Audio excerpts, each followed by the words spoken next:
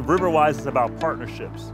We're partnering with Communicycle down the street to put in a bike rack. And so they're going to do a bike rack right in this space here. And they're partnering with local churches as well and uh, other communities, civic communities. So this fence is going to be moved back behind the light pole.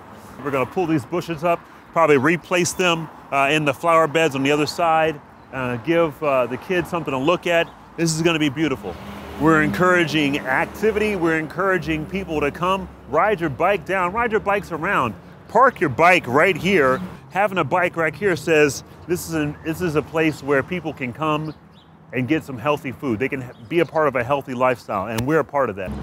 Because it says we are working together. We're moving out of this isolation and moving into community. This is an important piece because this is a community effort. This is not just our organization doing it. It's not just some other organization doing it to us. This is us partnering with another organization, and we're doing this all together because we recognize that uh, it's it's a community that grows together if they live together and work together, and we want our community to grow.